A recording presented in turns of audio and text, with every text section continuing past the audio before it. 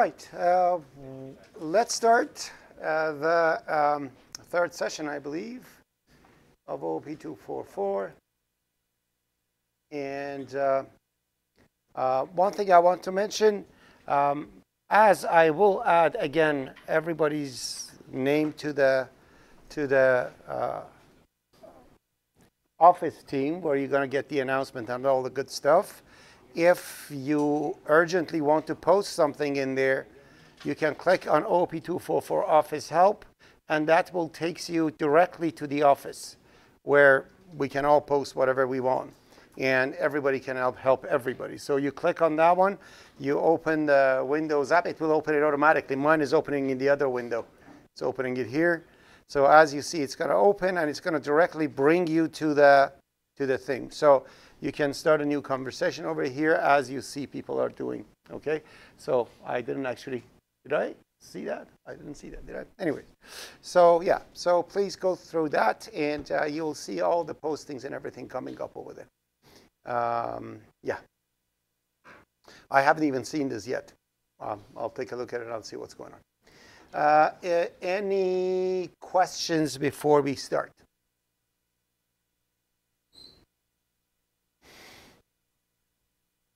No questions? All right. So as usual, as, as I said, for the first few times that I'm teaching the class, I'm going to actually start up the Visual Studio and uh, build the project. And then after that, um, um, we'll go through the rest of the things. Your workshop zeros should be done by now, very well done by now. Um, when you uh, ask me, uh, when you add me as a collaborator to workshop zero, um, when I accept the collaboration request, uh, that's the last stage of your workshop. Uh, I'll double check to see if you have created your, your repository properly. If you see there is an issue or issue at the top of uh, uh, I'll show it to you. So uh, let me just um, create this. So uh, Visual Studio, create empty project uh, with no starting files. I'll click on next, uh, select the directory. So the directory is going to be ZAA in our case, and it's 303 January 17th. So I'll select the folder and I'll go 03 January 17th that's our session. I'm going to create, and it's going to create an empty session for me.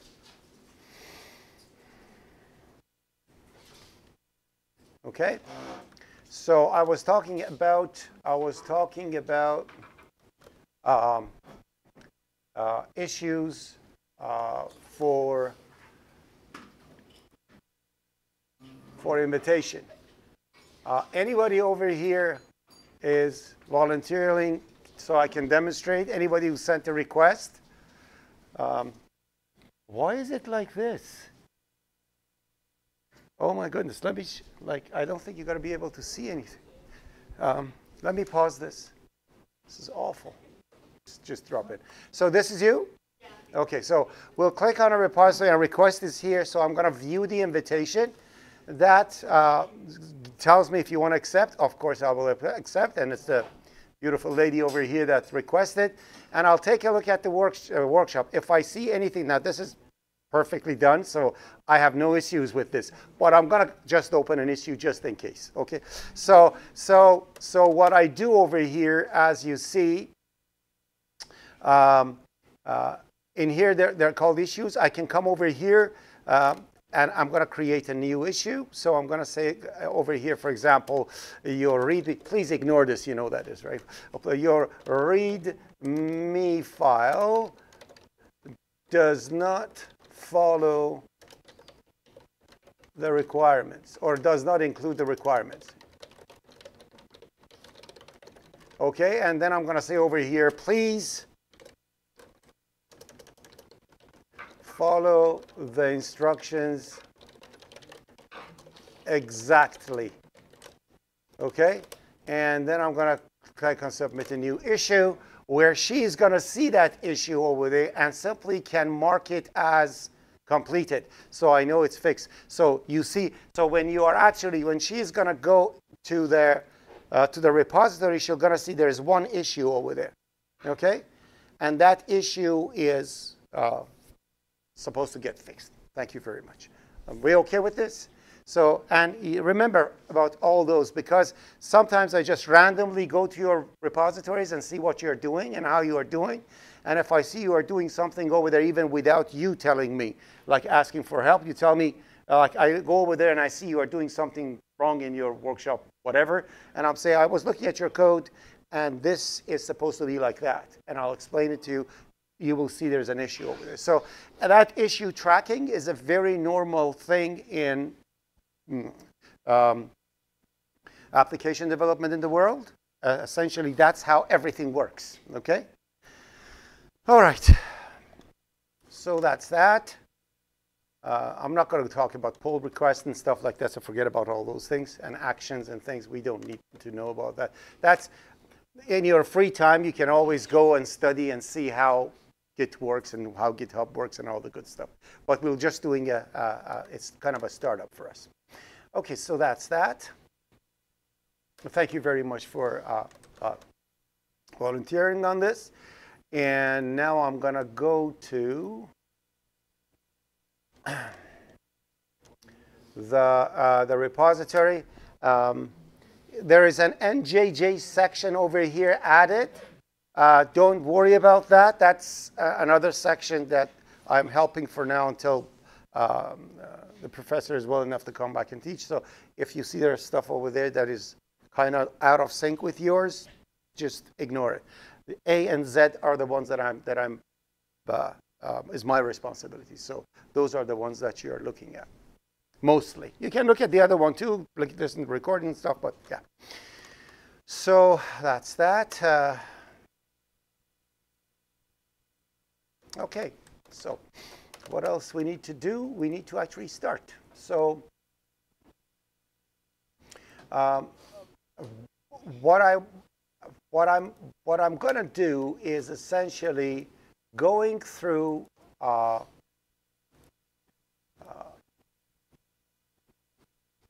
I'll, I'll, show it to you. Hello. I especially made the door like that so people come late. You can actually, ee, so you can actually, we, everybody knows you're late. Okay. All right. So uh, let me just open this. I'm going to start with types, overloading, references, things like that. This is supposed to be done in week two. I guarantee that our lecture is going to leak into the lab because I know 70% of you have problem with pointers from IPC 144, and don't tell me we don't. Okay, you do. Okay, we're to go through. So I will start the pointers as if it's IPC 144. I'll explain to you what the pointers are from scratch. So when we go to dynamic memory allocation, we're not to be like, what the, okay? So be okay with that. Um, so again, any questions before the before we start from the last thingy? Suggestions? Objections? Are we good? All right. So uh, I'm going to create the first file over here.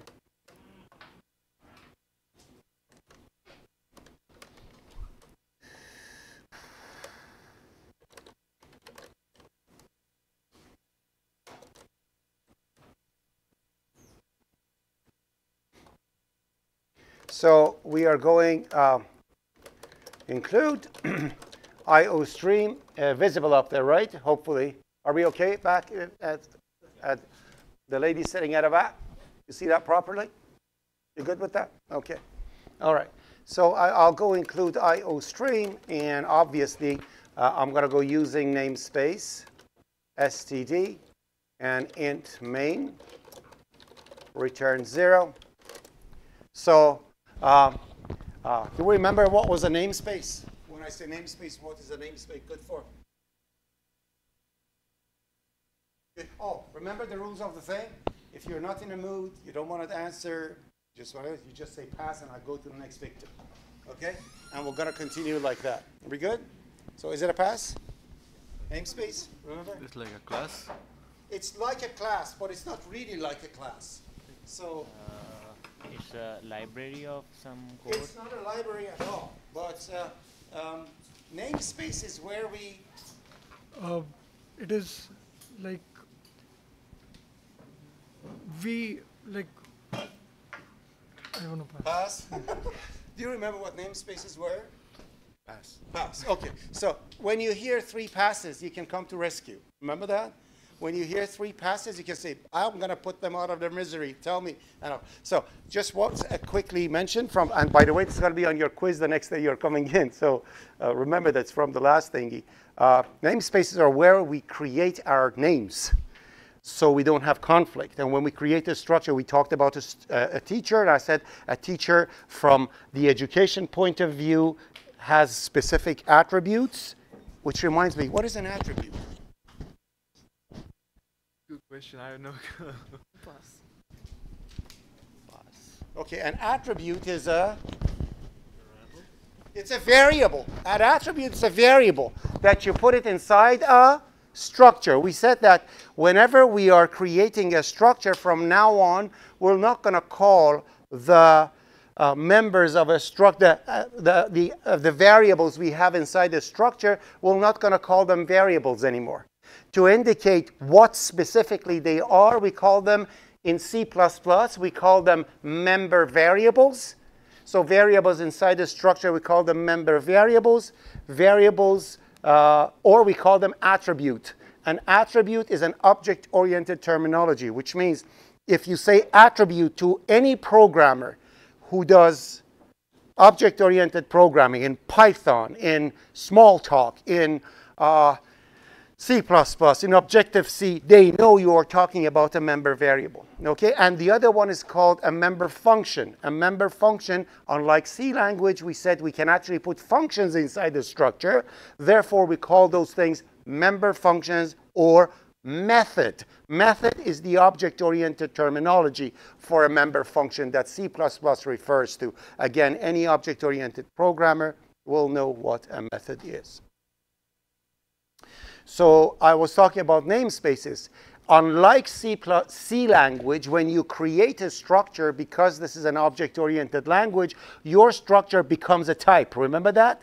You don't need to write struct name of the structure to recreate it, to create an instance out of it. When I create struct teacher and put information inside of it, if I want to create an array of teacher like C, I don't need to mention struct teacher A5. All I need to say is teacher A5, which means I have five teachers. Okay? Because every single structure that you create becomes a type, these types, these type names need to be unique. You cannot have two ints, right? It doesn't make sense. That's why we said we have namespaces. Namespaces are to create types inside their abstraction. Which reminds me, what is an abs- what is abstraction? Uh, like sort out all the things. Sort out all the things that you want and ignore the things that it that doesn't apply to your application.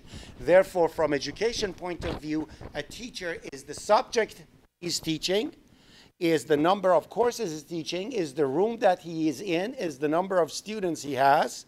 But from HR point of view, a teacher is an employee that receives salary and uh, has certain degree of education, has years of experience. So a teacher from HR point of view, although the name of the structure is still teacher, has different stuff because of its abstraction where in education part, ad- administration part, education part, it's a different story. Therefore, the programmers who are working in the HR department create their teachers in an HR namespace. So they write namespace, HR, they write everything in there.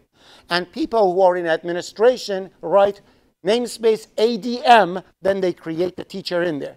Now, because these two namespaces are different, when it's compiled, one is the ADM scope resolution teacher, the other one is HR scope resolution teacher. Therefore, the names are different. Therefore, no collision. Therefore, having a namespace. Why do I say using namespace STD? Because when namespaces got introduced in C++, C++ says, so what the heck we're going to do with all the structures and types and stuff that we created for our language by standard? They said, easy, put it in the STD namespace. So everything that comes with C++ is in namespace STD. And because I don't keep, I don't want to keep typing STD scope resolution C out, STD scope resolution C in, I make my life easy by saying using namespace STD. And therefore, what do I do? I don't have to keep saying STD scope. Anything that the language, the compiler doesn't recognize, to tell you that it's not recognized, First, it checks the STD namespace. If it cannot find it there, then it tells you it's not recognized. Got it? We're good? All right. So, that's why I have the using namespace thinking. Now, we want to know about types. Now, we go back to IPC 144. You were my last victim, right? So it's your turn, my friend. So do you remember, we have two major category of types. Like if you look at the C language, there are two universal types that you have, two different ones only. And then in each one we have several types. Do you remember what those two were? Maybe they didn't teach you that way, but I just want to see if you can guess. Like When you look at, let's put it this way, when you look at the types, many of them have similarities and the other half have their own similarities. How can you group them in two different one, types? um maybe like integers and, Uh-huh, char- and? and characters characters. No, character is an integer. Ah, is character is an integer? Character is nothing. Okay, so that's folks. So first, thank you very much. It was a very good guess about integers. What do you think with the rest are? No, no. Array is not a type. Array is a collection of many types together.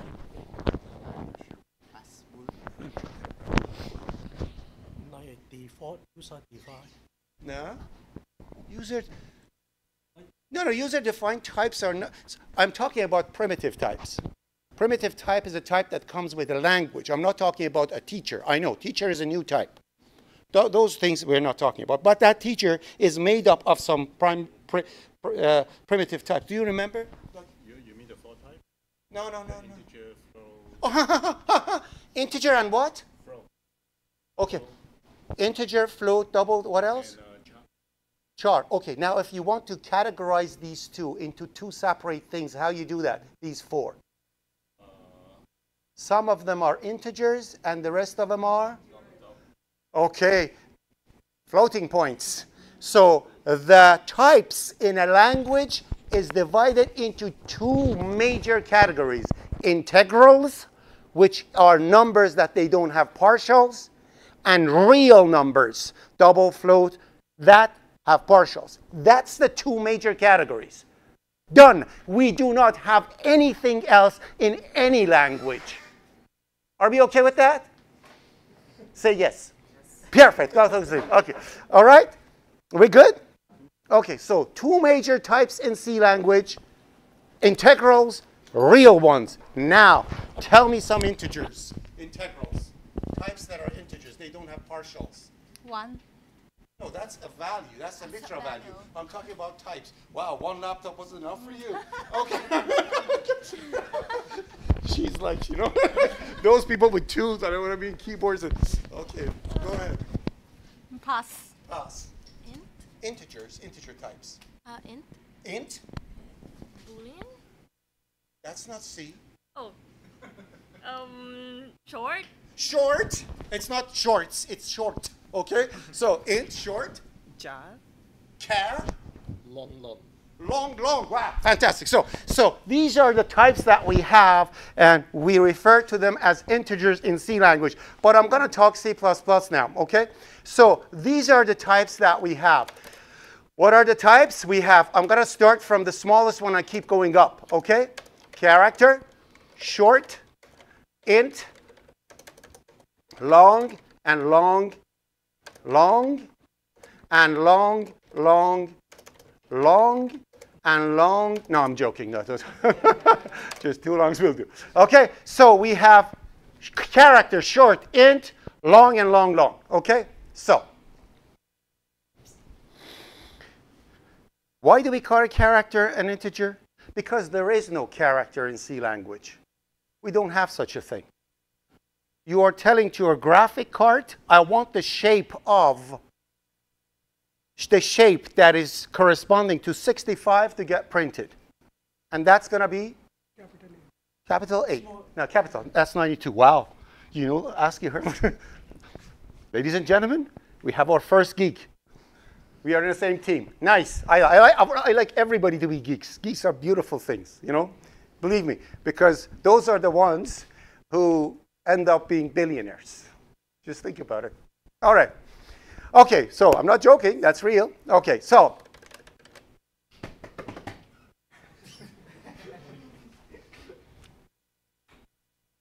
Better. Okay, so. Next.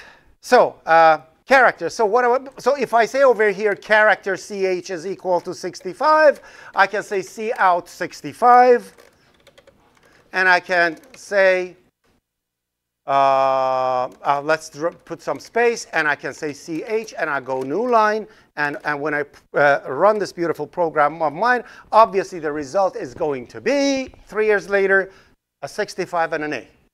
They are both 65s. One is looked at as an integer. The other one is the, the shape of the ASCII code 65. So if that's why CH, we never should think of characters as characters. If I say CH plus, CH plus equal plus equal 2, and I'll go again CH, print CH, what's going to get printed at line 14? C. Are we okay with this? Are we okay? So, so, so, so, how big the number in CH can get? 250, 255, so it goes from 0 to 256. So essentially, a character can show, can represent 256 different things. Why? Because a character has 8 bits. 2 to power 8 is 256, right? So, what if I go negative and positive? How many fingers? Did I talk about this? Did I say how many fingers in this class? Okay, how many fingers? 10. 10 relates to 256. Okay? Now, if I start from 0, it goes 0, 1, 2, 3, 4, 5, 6, 7, 8, and 9. So when you say it holds 10 different things, it means 10 doesn't exist in it. It's from 0 to 9. Are we okay with this? Now, if I want to divide this to negatives and positive, what do I do? I have to decide which one's going to be 0. I'll make this one 0. So if this is 0, it's got to be minus 5, minus 4, minus 3, minus 2, minus 1, 0, 1, 2, 3, 4, correct? Therefore, with 10 fingers, I still show 10 numbers, but negatives are one more than positives. That's why it's the exact same thing in the characters. In characters, if you want to show negative numbers, minus 128 is the smallest integer, plus 127 is the biggest one. Because the number is even, they had to put the zero, you know what I mean? Okay, so that's how it's done. And the same thing with short. If you go with short, uh, I don't even know what it is. It's 2 to power 8, that's the number, 32,000 something, yada, yada, yada, yada. And then you divide it by 2, 16,000 negative, plus 1, 16,000 positive, and 0 belongs to the positive side. Are we okay with this? And the same thing with the other. So character, 256, short around 32, int goes around a billion, long and int, depending on your platform, they interchange. They can be both 4 or they can be both 8. One can be 4, the other one can be 8, doesn't matter. 8 bytes, and long, long is always 8 bytes. Okay? 8 bytes, it means the number you can put in it can be 2 to power 64, whatever it is. We good? Be okay? Fantastic. We have another type of integer that you did not mention, and I'm not giving you any fault in that because you didn't know. We'll go to it soon. Uh, I'm not talking about the Boolean, by the way. I'm talking about something else. And in C language, in C++, in C++, in C++, they wanted to put people in ease who said C is complicated. Um, it, why is it complicated? Because in C language, who was the last person? You were the last person. I- Who was that? Oh, okay. so it's you. All right. So, it, so I should go to the other one. You're the one. Okay. What is? I love his face. He's like. All right. So, what's true in C? True? Yeah. Um, any number that is not zero. Could not be better than that. C language says anything that is not zero is true, correct? But if I have a Boolean operator like 3 greater than 1, what's the result of that? That will be one. That would be 1. So if the language tells you what's true or false based on a Boolean operator, the result is always 1. But when it's testing to see if something is true or false, anything but 0 is true. So what is false? Zero. Thank you. Zero is false. That's it. That was too difficult for people to understand. So they said, to heck with it. We're going to give you a new type called Boolean. Okay. Boolean comes from Boolean algebra, okay, which essentially means the, the, uh, the, the, the, the mathematics of 0 and 1. So how many fingers I have in my hand? 10. Therefore, our, the base of our numbering system is 10, which means I'll go 0, 1, 2, 3, 4, 5, 6, 7, 8, 9.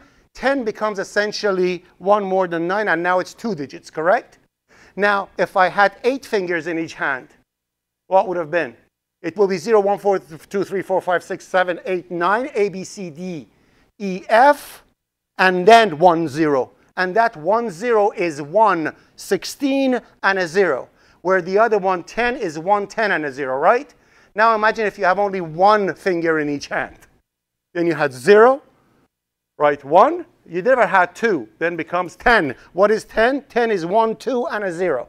What is 1, 1? 1 is 1, 2, and a 1, so it becomes 3. So if you have, and after that you have 1, 0, 0, which becomes 1, 4, 0. Okay? So that's how it works, Boolean algebra.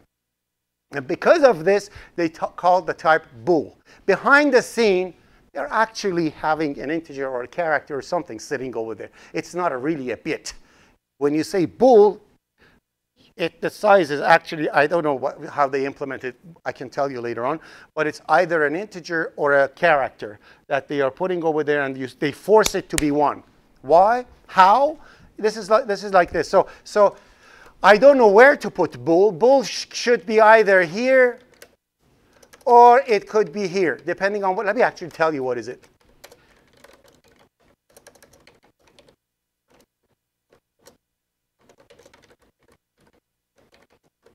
That tells you size of is not strlen. Size of tells you what is the size of that thing in memory. It's OOP345. But I, to make sure I give you correct information, I'm just, it's not OOP345, actually it's C thing. One, so it's a character. Okay? So it's implemented as a character, so I can put it over here with comfort. Okay? Or before or after, right? So it's one byte. All right. So bool is essentially one byte that is forced to be either 0 or 1, which means I can do something like this. I can say, I can say bool uh, OK, and I can do this. That means what? Yeah, so remember, initialization, which brings us to something else that I'm going to explain in a second. Just a second. See, I want to see when I'm explaining it.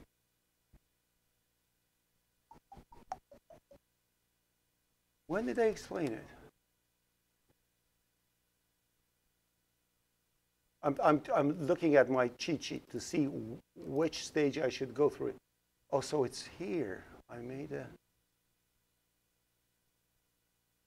Yeah, so it's not this early, but it doesn't matter. But we'll, we'll, we'll get to it soon. So, so, so, so like if I do it like this, it essentially means false. It defaults it to whatever it is. So I could actually write this over here like this. You know that, right? It didn't make any difference. It's the same thing as equal, okay? Okay, so let's put it 65, and I explain something interesting to you later on, which is very important. We'll come to it soon. But anyways, so uh, if false, I'm going to say. So if I say over here, if, if okay, then I'm going to say over here, see out, this will not happen. All right? Are we okay with that if statement, people? All right. Now, if I say over here, okay is true, so we know actually false is 0 and true is 1. So if you print true, don't think true is going to get printed. 1 is going to get printed. C++ is C. It doesn't understand what is true or false. They just did that for us so we are happy because this is true, right? I see the true word over there. Yay! Okay, that's the reason. So if I do it like this, I can now go, okay, if, okay, now see out, this will happen. Correct? Are we okay with this? Now I can do even something like this. OK is equal to, right? And I'll go see out, OK. So after I do all these good stuff, we'll see that at the end, what is printed? 1. It doesn't matter what you put in, in a Boolean variable. If it's not 0, it makes it 1. We good? Yes.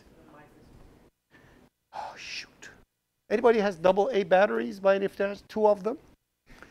I went downstairs, there was nothing. So if this thing blinks and ends, which means we will not to have a recording for this class. If anybody has two AA batteries, let me know. Ha! Hallelujah. Let's pause. So what was I talking about? Anyway, remember? Oh yeah, the Boolean thingy. All right? Are we okay with this, everyone? Down to this point? Okay? All right. So, all right.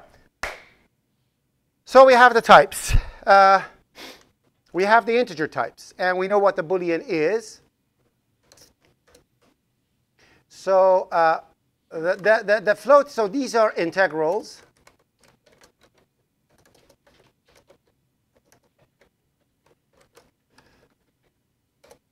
And these are uh, real numbers, which are essentially,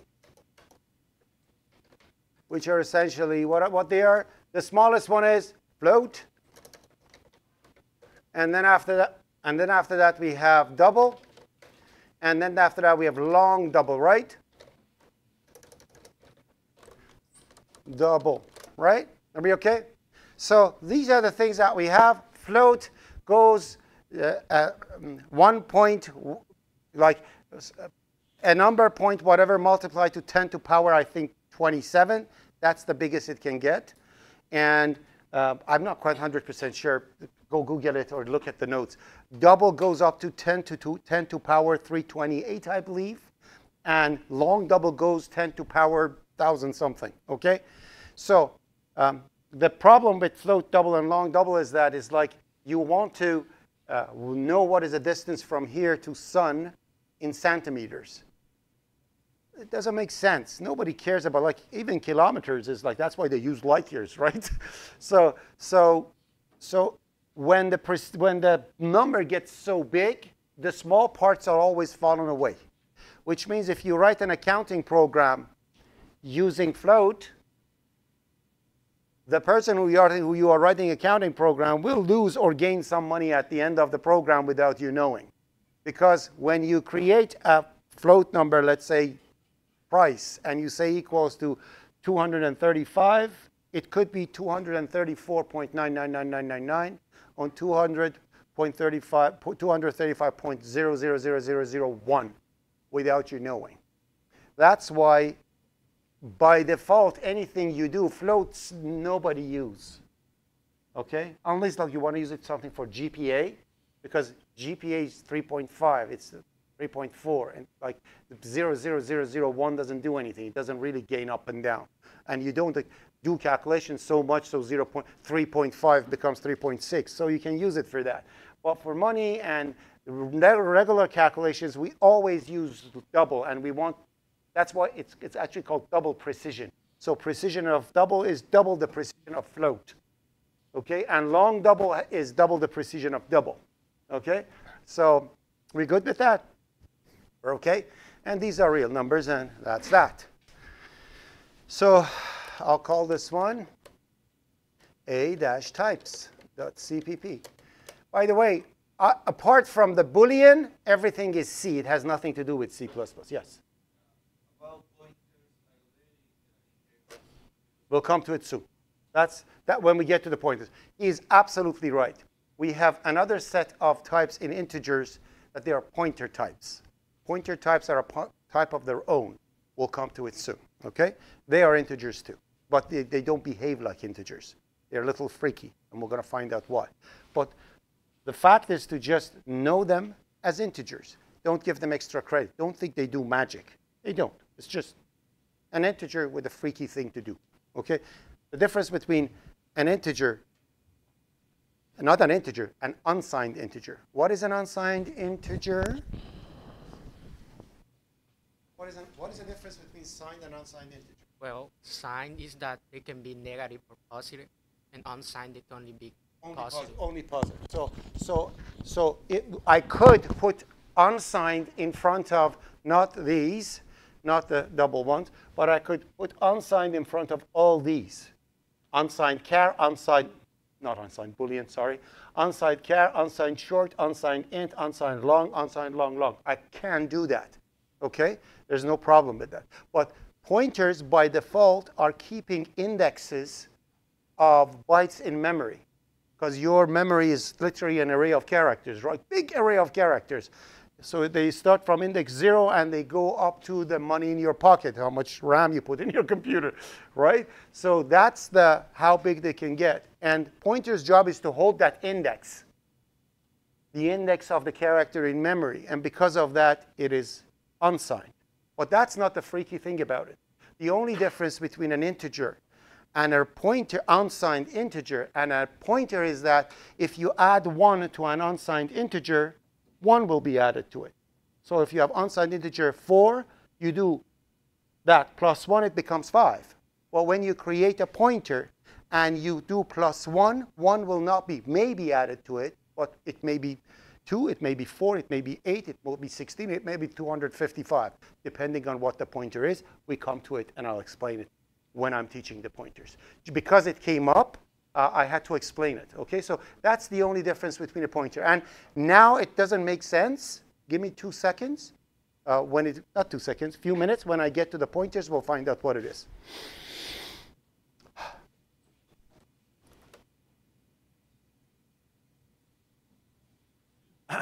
Let me just do something. I'm going to pause and. As our friend mentioned over here, we have custom types. Why we call this custom types? Because unlike C C language, when you create a structure in C++, they become types. Okay? That's why we call them custom types. So essentially, if I create a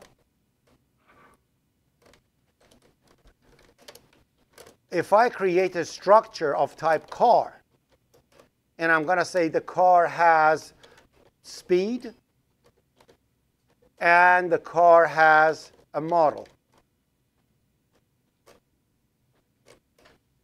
Okay? When I do something like this, in my program, I do not need to say struct car anymore. All I need to say, I can say car, not that car, car, parking, 200. It means a parking is an area of cars that can hold 200 cars in it. So car becomes a custom type. Therefore, the need of, therefore the need of namespaces. So when you create a module for car, we did it last time, you put, you know what to do with the header file and put thingies, right? Okay, so you do that, and that's that. So that's, it's called custom types, okay? Or uh, custom types fall into the category of what we call compound types, types that are built out of other types. Okay, compound types are types that are built out of other types. For example, an array is not an array. We don't have anything like it's a compound type. And you will see soon that array is not just built of series of like if you say integer A50, you don't have 50 integers. There are more to it. That's why that array thingy becomes a compound thing, and it has its own behavior, it has whole system and stuff. Are we good down to this point? Are we okay one? Are we okay one? You should say no, that's a two. Are we okay one? Are we okay two? Three. We're done. Okay? Now, so because you mentioned it, I'm going to call it custom types.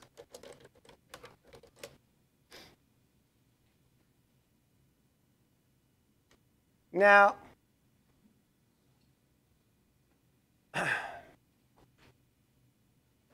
another feature of C++ language, like uh, just, just uh, remember that we did that graph thingy in, in your workshop? And graph had this function called line.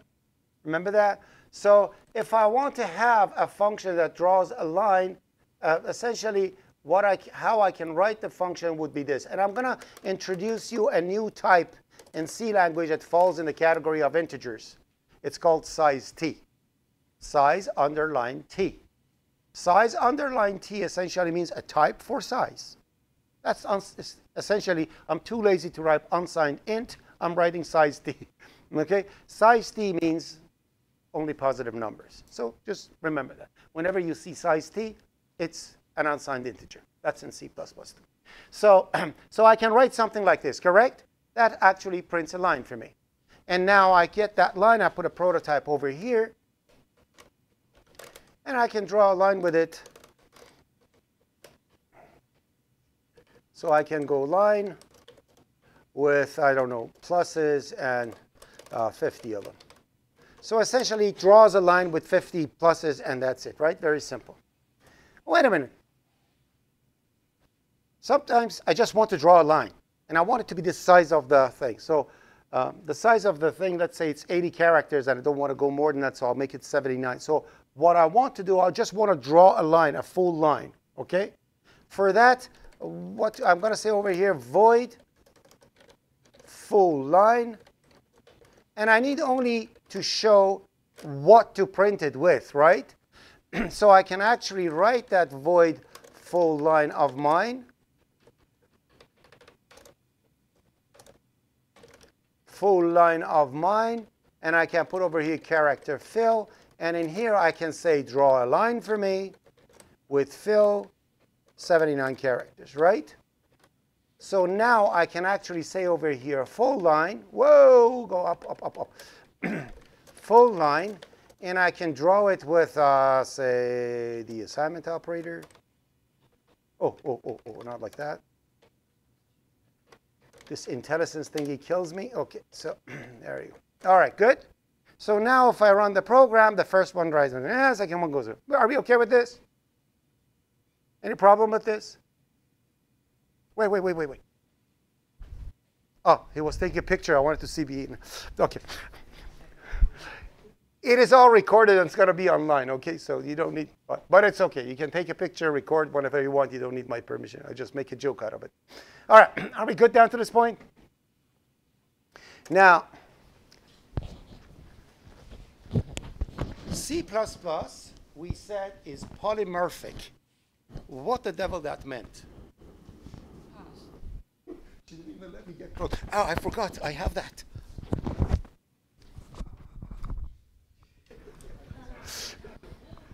Polymorphism. Remember what it was? some can be displayed in many forms. Uh-huh. Uh, Not display. A- Any action that can be done in many different ways, it's a polymorphic thing, right? C++ is a polymorphic language, which means the same action can be done in many different ways.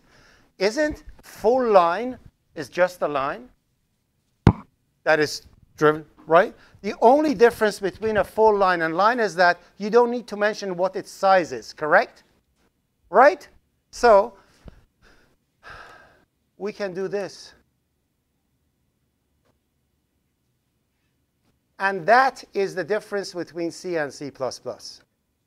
In C language, the name of a function is the signature of the function. Identifies what a function is, therefore it has to be unique. You cannot have two functions with the same name. In C++, it's the name the, of the function and the, at, and the arguments it receives that identifies what the function is. Therefore, I can have two line functions with the same name. One doesn't need size, the other one needs size, the one that has size. So it calls the proper one automatically. Obviously, I'm reusing the code over there, but it doesn't have to. Yes?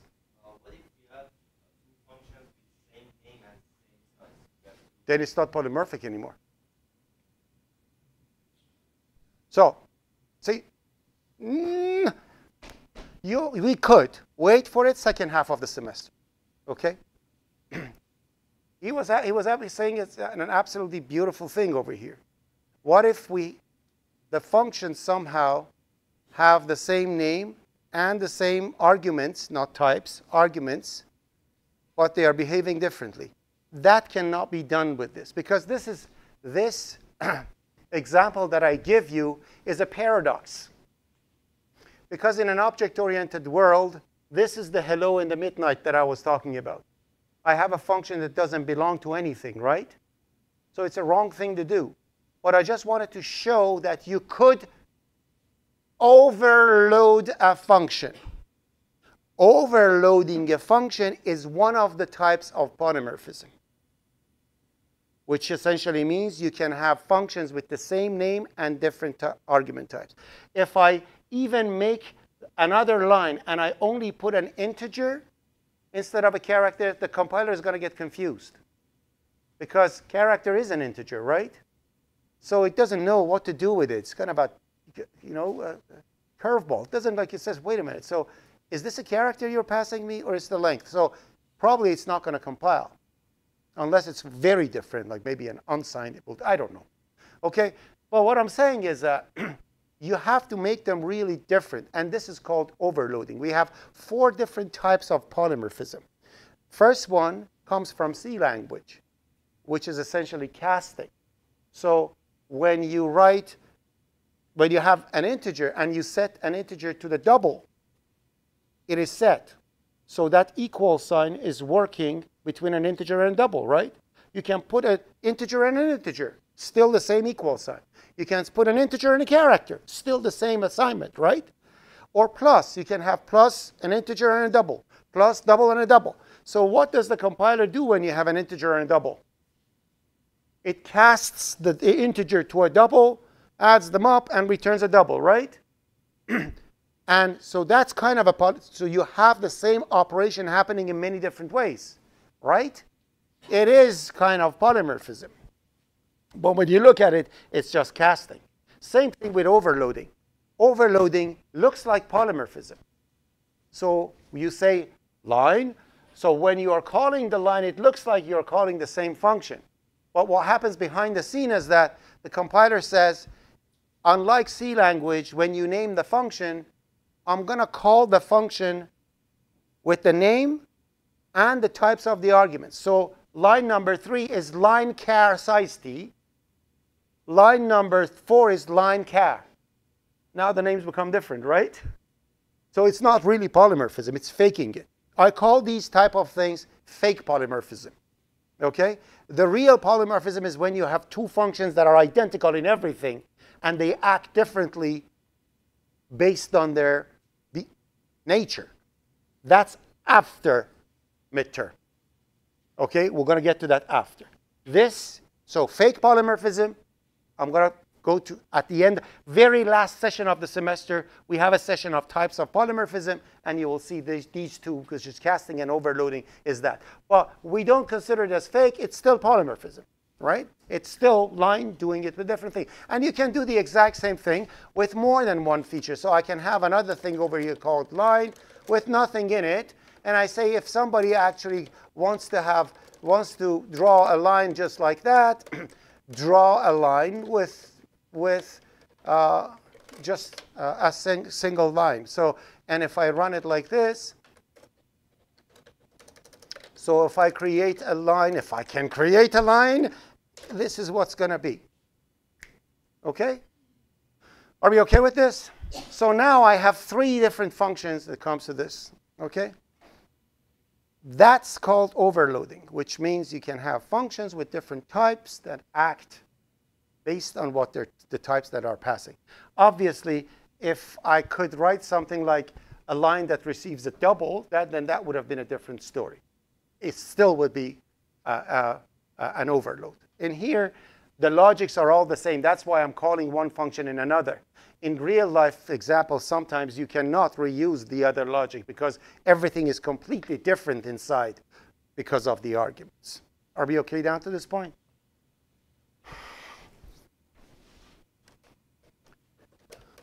So that, ladies and gentlemen, is overloading.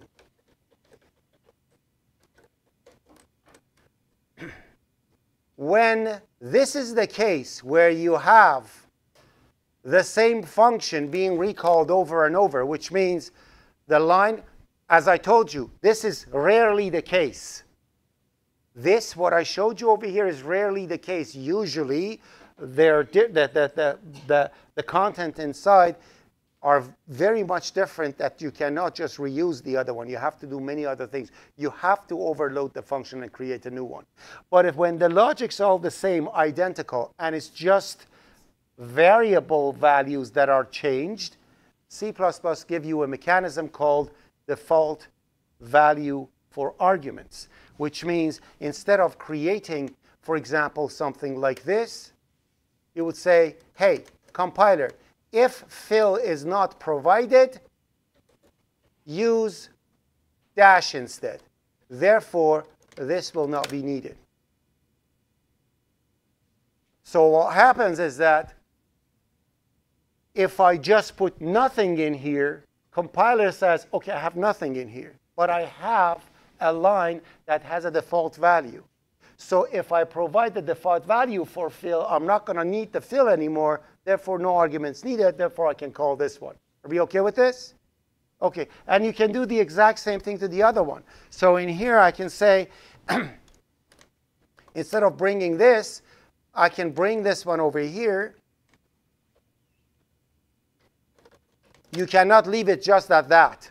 Many people in final assessment last semester made, lost mark because of that. You cannot have a default value for the first argument and leave the second one nothing, because that's not how the syntax of C works. You can only reduce from the left, right? I cannot ignore the first one and provide the second one. How can I do that? It doesn't work, right?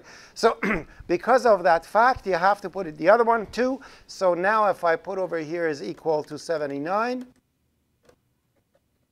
now I do not need to have any overloads for this because the default value for the arguments is doing the same thing essentially for me. Overloading is possible. So if you see you cannot reuse, overload by all means. But if you see the nature of overloading is just the default value for the arguments, then use the default arguments. It's easier. Less coding, right? Now it works the same way. So for the first one, when it runs,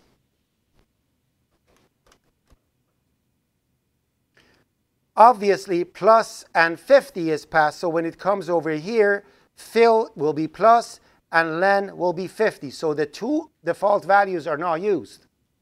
And it's going to just run it and, and go through it. But when it goes to the line with the equal sign passed to it, when the function is called, ah, it went too much. Let me just uh, go over here, run to cursor. So I was here. So as I was saying, when actually comes over here, now you will see len gets the default value 79 because it's not provided, but fill is assignment operator because uh, it's, it's not used. And if I go to the third one, you will see because nothing is provided, fill will have the default value dash or minus, and len will have the 79. Are we okay with this? Yes. Yes, of course. It means it means your the minimum amount of it means you have only have two overloads, two arguments and one.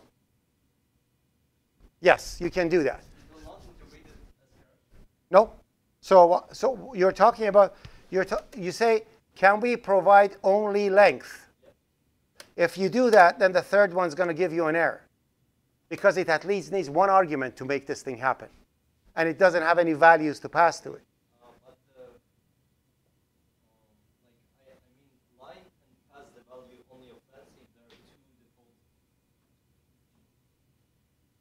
So, so you're saying so in, oh, so in here, put over here, put over here 40? Yes. No. Oh, so let's do, so let's do 65. I want it to be length of 65, correct?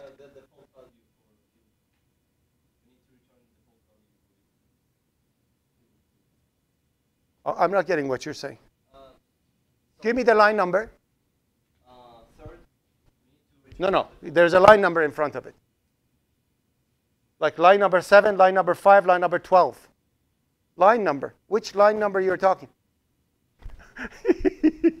These are the line numbers. Which one? Oh, line number 3. Okay, my apologies. Sorry, I thought you were talking about the third. Okay, line number 3, go ahead.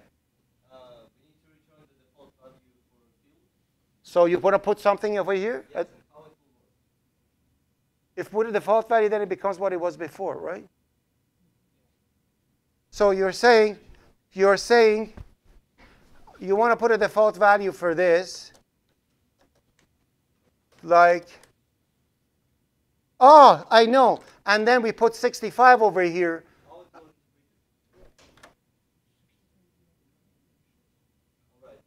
Does that make sense? Yeah.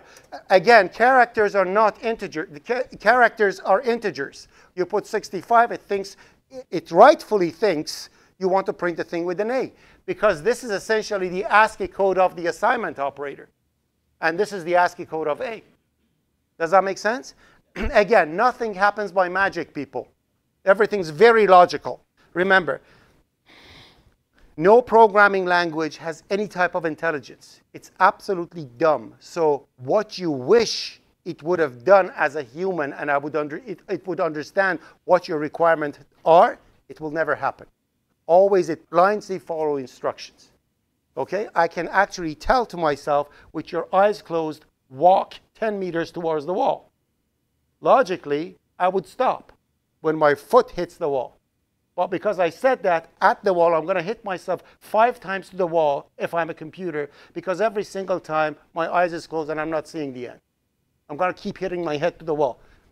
It's not a human being. It's not, it doesn't have any intelligence. It doesn't predict things. It doesn't do anything. Okay? It's a programming language. It's not chat GPT. It's, okay? It's a programming language. This chat GPT is written with C++. Got it? Okay. When I say chat GPT, everybody says, ah, my best friend. Okay. All right. Okay. All right. So that's why I blocked everything for, for, for, for your tests. Um, anyways, we'll see what happens. Hopefully some, not, nothing's going to go wrong, but we'll see. Anyways. So that's that. So this is the default value.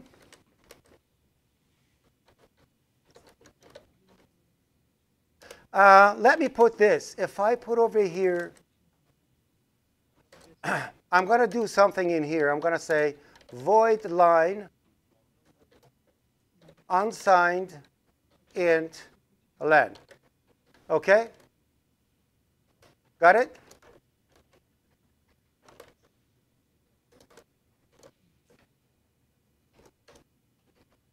And in here, I'm going to say if that's the case, I want line with dashes and len happen, okay?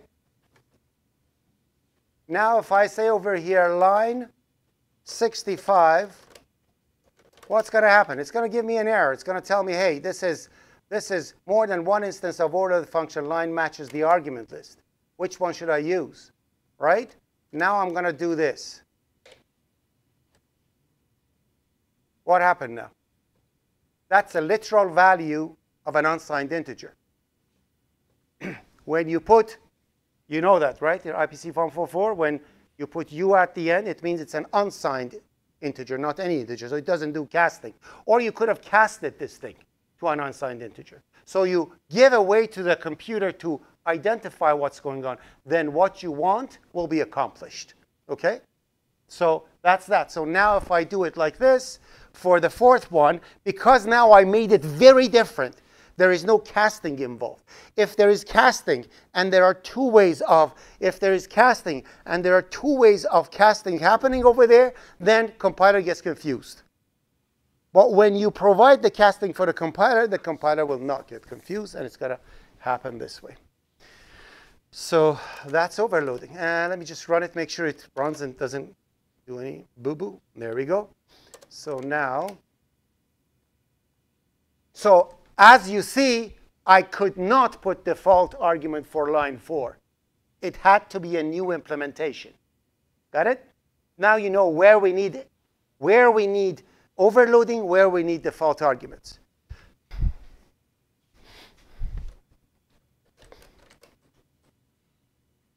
C overloading and default argument values.cpp.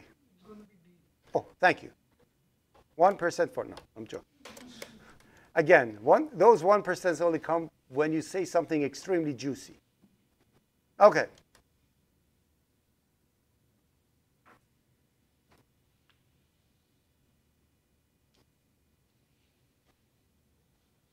All right. It's 11.02. I have approximately 33 minutes that I can actually uh, do the review on pointers. And I will do it, okay? So I'll give you five minutes break to do whatever uh, that you want to do. Uh, and, and by the way, uh, something I have to mention. The lab that you have, the lab that you're coming, will not have a break.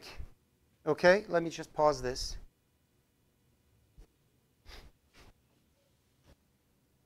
I'm going to really rush through pointers because you have some bases on it. You know what it is.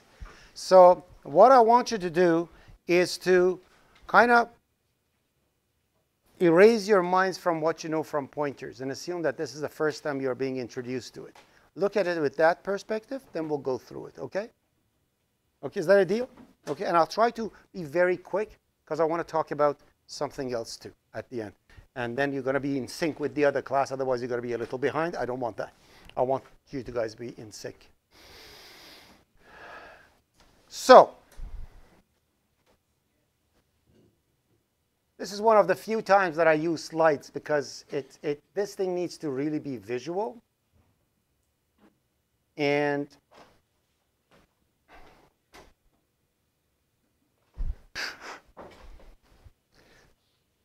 this is the memory inside your computer. So essentially starts from at the beginning with index 0, and it goes one, two, three, and it keeps going to the size of whatever your memory is. This has a flaw.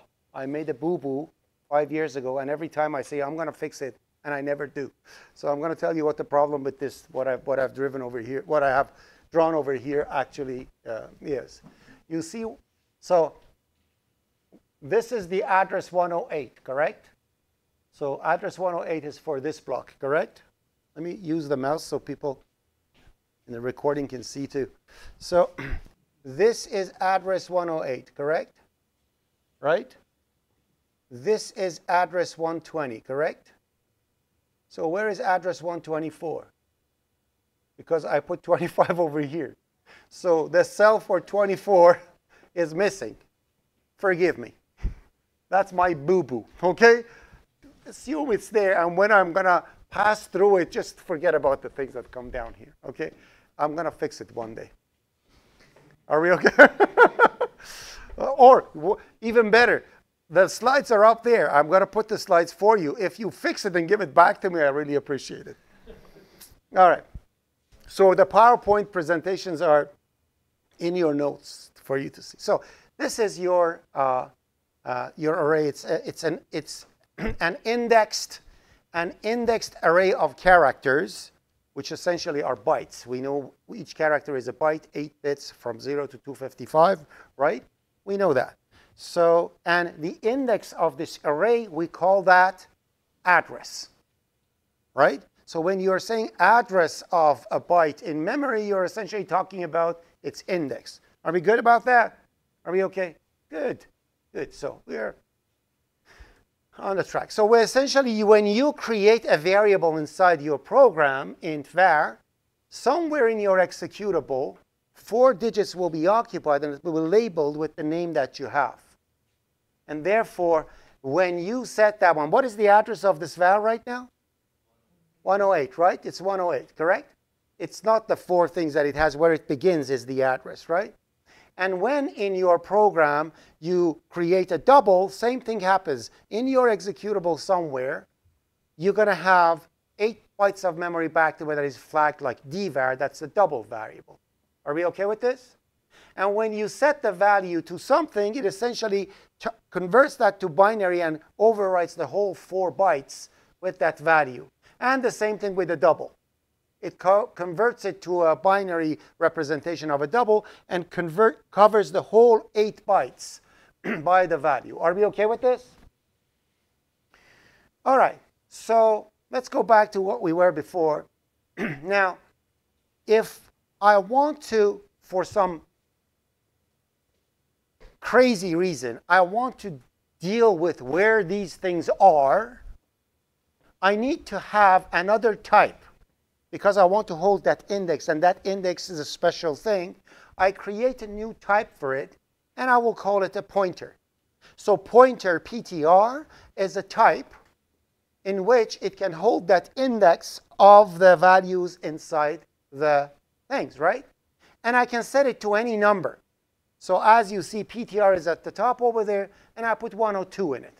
So essentially, by putting 102 inside the PTR, I mean point to the address 102. Are we OK with this?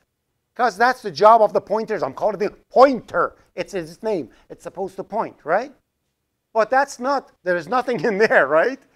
I, the correct value that I want to set over here is 108, not 102.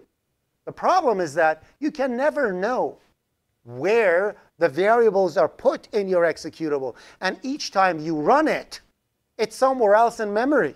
So the addresses are not always the same. So you cannot hard code the value. You need a way to extract something.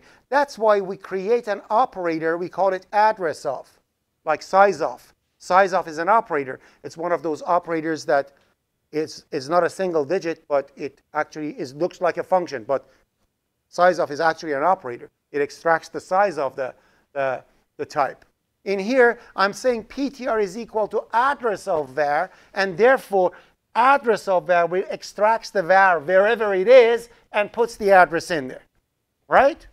And then we're going to create another operator for it. We call it target of. So I can say target of PTR is equal to 2345.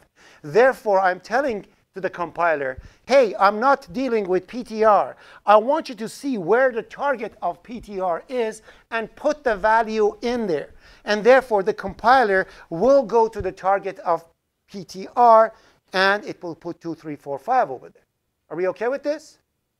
So if I print the variable, what's going to get printed will be 2345, correct?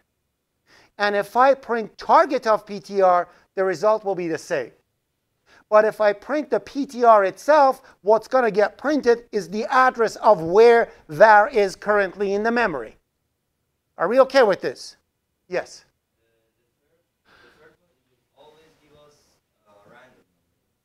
Which one? This one?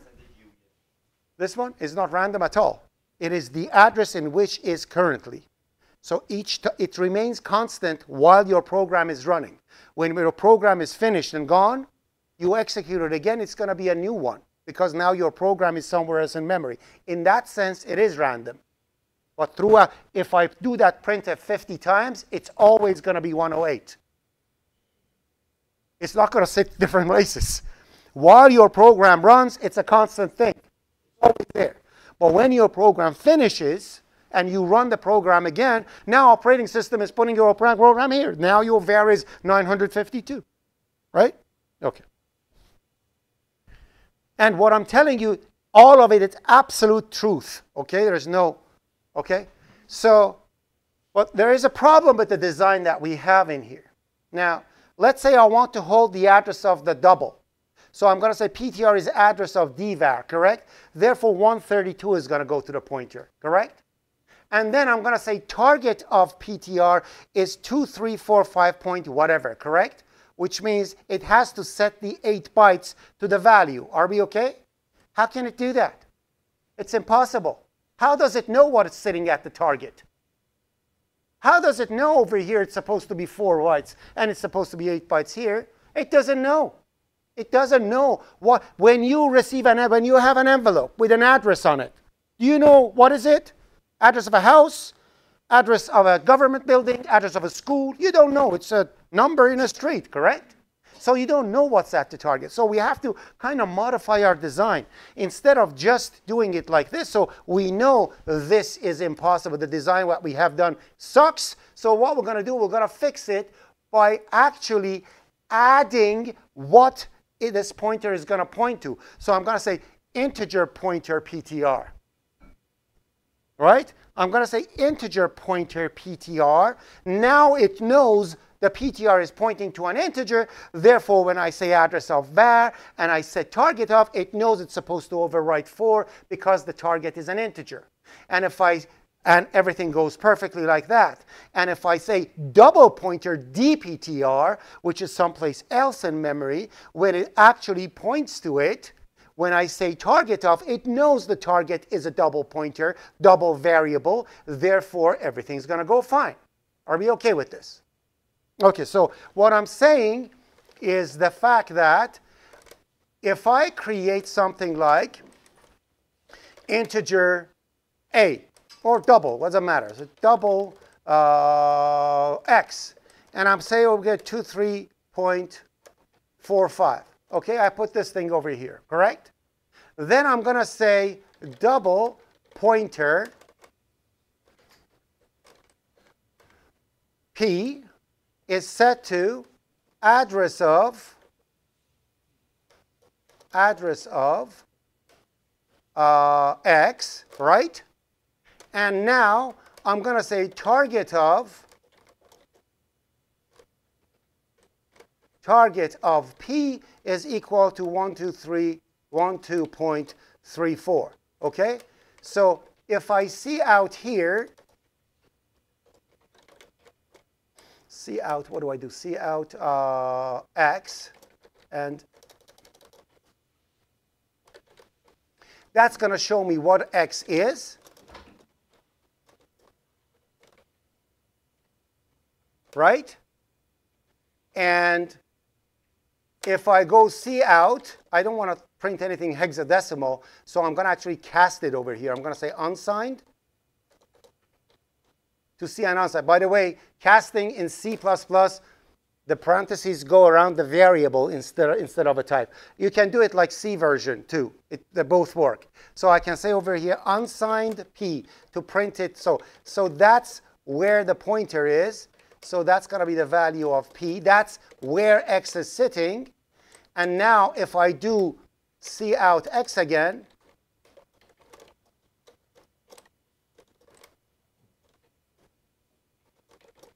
obviously the third one, the, the th so the first value will be 23.45. The second one will be where X is in memory. And the third one will be the value of X after setting using the address, correct? And if I run the program, you will see that it works perfectly as we mentioned. Are we okay with this? And to your uh, thing that you were saying, random thingy, I'm going to do this.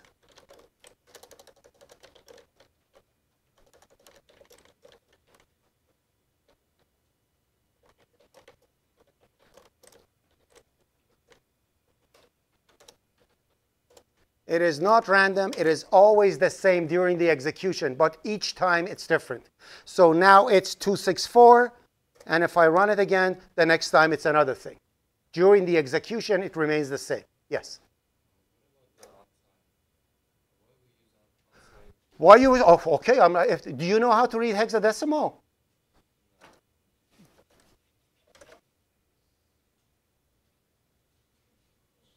Okay, I just translated it into English so you can actually see what it is. When, when it's unsigned, you actually see the unsigned value. Uh, are we okay with this? All right. So let's go back to our presentation. So that's essentially, yes?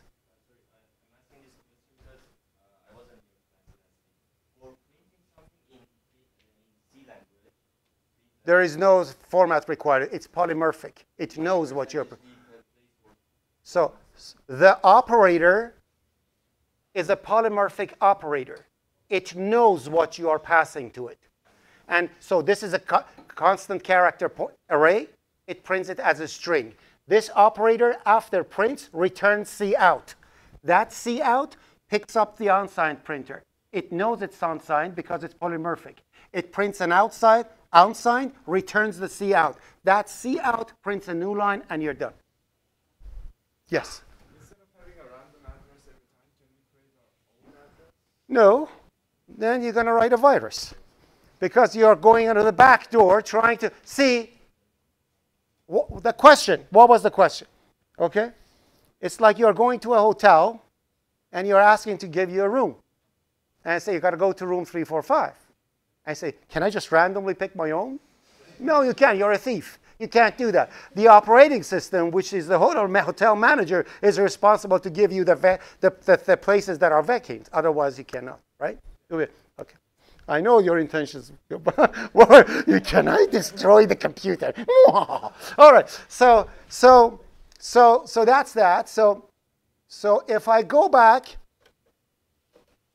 here, so what happens, and that happens, we know that, but, but, but the pointer in C++ and C language is represented by an asterisk, right? So when you write it, you should never say asterisk. You should call it what it is. So essentially, integer pointer PTR is written as integer asterisk PTR. But when asterisk comes after type, you never call it asterisk or star. You call integer pointer PTR double pointer PTR. And those asterisks belong to the type. The address of is represented by ampersand, which means you never say ampersand unless it means and, or even for that you say and, you never say ampersand.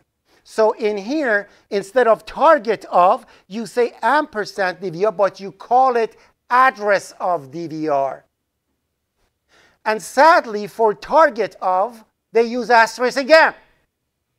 So if the asterisk comes before a variable name, it's called target of, not asterisk. And therefore, target of DPTR over here will be target of, I'm not going to even call it asterisk anymore. It's target of DPTR. And that's it. So target and pointer are both represented by asterisk. If that asterisk comes after a type, it means type pointer. Like that. Like this. Like this. But this was set, for IPC 144, so remove that struct. This is an IPC 144 lecture. Okay? So it's employee pointer EPTR. And if asterisk comes in front of a variable as a unary operator, like plus 5, minus 2, not A, then it means target of. So A is set to target of P, target of T is equal to X, A is B set to B multiplied by target of C, and E is equal to target of M multiplied by C multiplied by C. You never ever call an asterisk an asterisk. You name it what you mean, therefore you learn it. Got it? So, how the devil my freaking program worked? The reason was pointers.h. I said define target of to asterisk, define address. so, so as I told you, those hashtags, it does it before compilation, right? So I'm saying before compiling, remove all the target ofs and put an asterisk. Remove all the address of and put ampersand and remove all the target of put asterisk. So, ta-da. Okay? So if you name it properly, or if you don't like it, just include that always and add to. But, but that's not a good include. It only works for this, by the way. Okay? So, no, no, it works everywhere. It works everywhere, but you have to make it a proper header file with safeguards. And a defined is not just a defined professionally. You have to check if it's if it's already defined. You undefine it. It's a difficult thing to do. So that compiler thingy that I have written is going to be very big. If I write it properly, everybody would have been confused. But a defined like this makes sense. Are we okay with pointers now? All right. And and what the devil is an array? So when I'm saying array, what do I mean by an array? When I actually name something an array, an array when you actually create an array, your integer is one integer. When you create and you create a pointer, it points to it. We know all that. We did it two seconds ago, right? But when you are calling an array, an array is series of, of variables inside the executable. So when I say integer AR5, we think that's what's going to get created. That's not really the case. What happens behind the scene is, and obviously when I say AR3, you're going to say index 3 and you put it in there, right? But what happens behind the scene is really this. What you have is a constant integer pointer AR created separately that points to the beginning of those series of stuff. And when you are saying, I want to, if so, literally, if you put target of in, in front of a name of an array and you set a value, you're going to set the first element because the first element is the first one.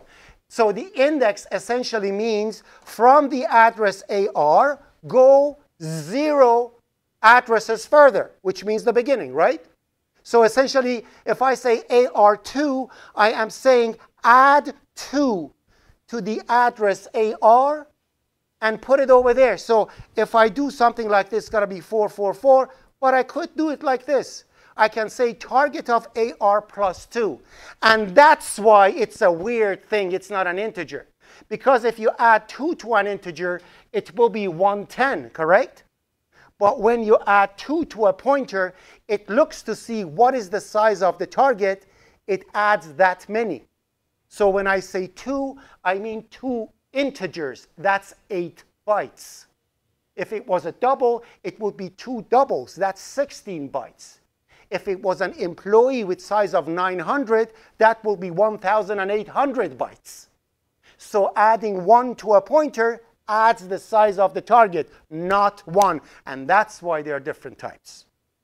And that's how the pointers are. And that's why you simply pass, when you are passing an array to a function, you leave the index empty. So what you're actually saying, create an array without a body, that's just a pointer. So you can just replace it with a point. Ta-da! Okay, so that's what arrays are. Okay, just be uh, mindful of that. And before we go, in four minutes, I don't know if I can cover it. I'll do my best. So uh, I'm gonna save. I'm gonna save this as uh, fake pointers. no exclamation mark. I don't think it works. It's okay, so that's that. So, anybody knows what's my name? Father. Farda. For that. Okay, so my name is Fardod. Very difficult. Okay, the, the person who did my passport was this idiot who didn't know English. He wrote F-A-R-D-A-D. It's supposed to be F-A-R-D-A-U-D, so it becomes Fardod okay? But now I'm for that. that means your dad is for. Okay, and when I'm speaking in English, seriously, who, what's your name? My name is Fardat because I'm speaking in English accent, and therefore it's difficult to suddenly switch halfway through to another. Anyways, so what I want to ask you to please call me Freddy from now on. Is that okay? Freddy. Okay. So if you call, if you ask Freddy to teach C++, who's going to teach me C++? No. Farda is going to teach C++, correct? If, I, if you tell to Farda to let's go have coffee, who's going to come and coffee with you? Freddy. Do I have two people? One person. Farda and Freddy, right? The same people. So what is this Freddie called in English language? Freddie is what of a Farda? Nickname. We talk Shakespearean English, that becomes alias, right? So Freddy becomes an alias for Fardat, right? We can do that in C++. Okay? In C++, we can actually do that. What I can do over here, I can say, We don't need the pointer thingy. I can say over here integer. A is 25. Now I can say integer reference. So in C++, reference, just because it wasn't confusing enough, now you can put an ampersand after a type. okay? So if the ampersand comes after the type, that means reference. That means alias. So integer reference R. If I do that, I'll get an error. Can I say Freddy is an alias? Freddy is a nickname. Nickname of whom? You have to say Freddy is nickname of Bardat, right? My name is, I don't know, William, call me Bob. What kind of a nickname is that? I don't know. But anyways, that's the way English works. So, so that's what it is. So that's the alias, right? In here, if I do it like this, it's going to give me an error. You cannot just create an alias. You have to say what this alias is for. And now I'm going to say A.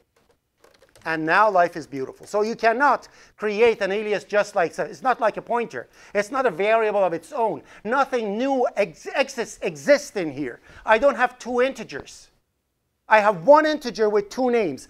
After line 6, A and R are literally indistinguishable from each other. You cannot say which one is the real one. You set R. So now if I do like this, if I go C out R, and then I say R is set to 2, 3, 4, and I say C out A, doesn't make any difference, people. And I go again C out R, they are all the same, absolutely no difference. Are we okay with this? Are we okay? One? Yes. Hmm?